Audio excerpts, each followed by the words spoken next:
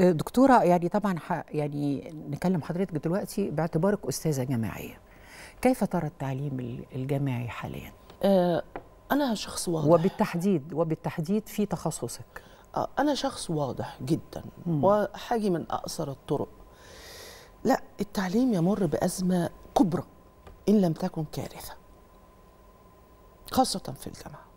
إحنا عندنا مشكلة كبيرة جدا خاصة فيما يتعلق بأقسام الأدب. مم. مثلا يعني.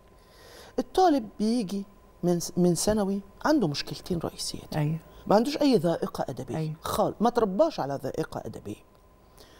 رغم ان هو في المرحلة الثانوية والإعدادية أيضا بيدرس آه لغة. بيدرس آه وهقول بشكل برضو شديد آه. الوضوح بيدرس شعر موظفين آه كبار وليس شعراء. يعني يقول مثلا إن السماء براح فأنا مرتاح فهو ده الشعر. يعني القافية القافية هي التي تحكم الشعر لا صورة بقى ولا لغة ولا عالم ولا رؤية ولا تجربة ولا أي حاجة خالص. الميراث الكبير جدا والممتد لأدبائنا ألا يوجد في الكتب المدرسية آه الخاصة باللغة العربية؟ لا أظن. والا أنا كنت شفته. أنا بعمل حاجة بسيطة جدا م. إن أنا بعيد النصوص. يعني آه طلع مواطن الجمال من هذا آه طلع مش عارف إيه من إيه. فهذا الكلام كله ما بيطلعش ذائقة وما بيطلعش وعي كمان. مم. الطالب ما عندوش وعي. الطالب هيذاكر هيحفظ هيمتحن. ما عندوش أي ما فيش أي حوار بينه وبين النصوص اللي بيقراها كيف ستختاري النصوص المقررة على التلاميذ هختار نجيب محفوظ هختار طه حسين هختار يوسف إدريس هختار صلاح عبد الصبور هختار صلاح جاهين كمان والأبنودي.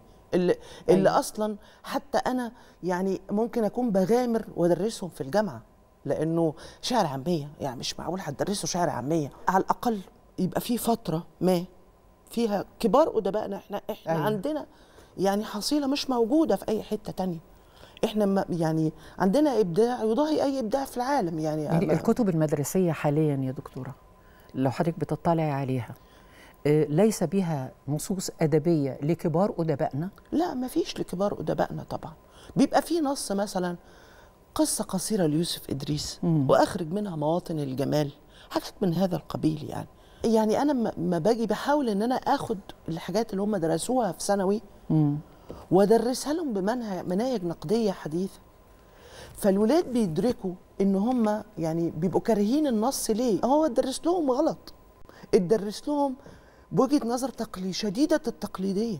مم. المشكلة الثانية إنه آه ما فيش كمان ما بيطلعش الطالب من ثانوي عنده وعي عنده وعي نقدي. يعني بيبقى خايف حتى يكتب حاجة للاستاذ ما تعجبوش آه أو الأستاذ يسقطه لأنه ما قالش الحاجة رأي الأستاذ.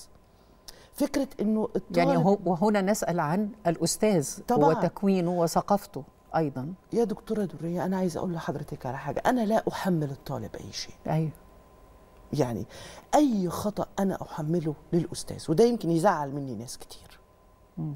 الأستاذ هو ال هو ال إحنا لما تربينا على أساتذة كبار في ثانوي حتى في كان عندي إذاعة مدرسية أيوة. بقرأ فيها شعر. هو في دلوقتي إذاعة مدرسية بقرأ فيها شعر. كان عندي مكان بروح أتعلم فيه موسيقى. فكرة حتى إن الطالب يدرس الأدب بما هو أدب أدب فقط. لكن ما عندوش فكرة يعني ساعات أسأل الولاد على مثلا أكون بدرس مثلا رواية الحرم ليوسف إدريس مثلا يعني. فأقول له طيب شفت فيلم الحرم ده أبيض وأسود موجود في في التلفزيون 24 ساعة. لا. ما شافوش. يعني فكرة كمان انفصال مصادر المعرفة بهذه الطريقة شيء مرعب. هو داخل يدرس شعر فهيدرس شعر. مش عارف إنه لازم عشان يفهم قصيدة شعر أو يفهم رواية أو لازم يكون شايف سينما. لازم يكون سامع مزيكا محترمة يعني. لازم يكون في حاجات كتيرة قوي بتشكل وعي وبتشكل ذائقة مناهج اللغة العربية دكتورة ألا تعرض على أساتذة اللغة العربية مثلا في في الجامعات ياخدوا رأيهم فيها؟ أظن ذلك أظن ذلك. يعني من يضع مناهج اللغة العربية في مدارسنا في لجان مسؤولة عن ده. في آه طبعا هل أكيد. بها أدباء؟ هل بها لا ما كتاب؟ أظن لا أظن إن فيها أدباء. مم. ما هي دي النقطة. النقطة إنه إحنا لما بنقول بنربي وعي أو بنربي ذائقة بنربيها إزاي؟ يعني إحنا أيام أيامنا إحنا وأنا الحقيقة أنا زعلانة إن أنا بقول الكلام ده لأنه أنا شخص ما بيحبش النوستالجيا ولا بيشوف إن الزمن الجميل هو الأجمل بس أنا بقول وقائع. أنا كنت بشوف أفلام سعاد حسني أيوه. أفلام صلاح أبو سيف وكمال الشيخ ويوسف شاهين وبذاكر. بسمع أم كلثوم وعبد الوهاب وعبد الحليم وعدوية وبذاكر. آه كل ده بيعمل توليفة في الوعي.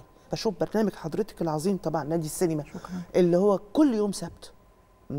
وكنت بعرف يعني إيه سينما بره.